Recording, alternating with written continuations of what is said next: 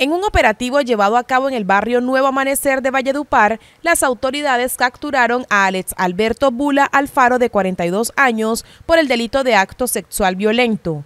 La detención fue realizada por una patrulla del nuevo modelo del servicio de policía durante un registro de rutina, donde al verificar los antecedentes del individuo se confirmó que tenía una orden de captura vigente.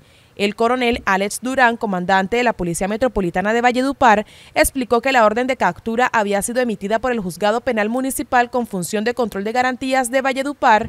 Tras la captura, Alex Alberto Bula Alfaro fue trasladado a la unidad de reacción inmediata de la Fiscalía General de la Nación, donde quedó a disposición de las autoridades judiciales.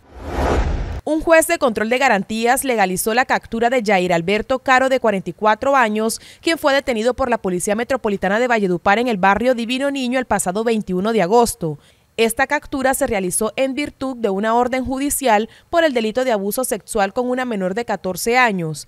En la audiencia correspondiente se presentaron los cargos y se solicitó una medida de aseguramiento, a pesar de que la Fiscalía 31 Seccional Caibas llevó el caso, el detenido no se declaró culpable. No obstante, se le impuso una medida intramural. La orden de captura fue ejecutada por el Juzgado Séptimo Penal Municipal.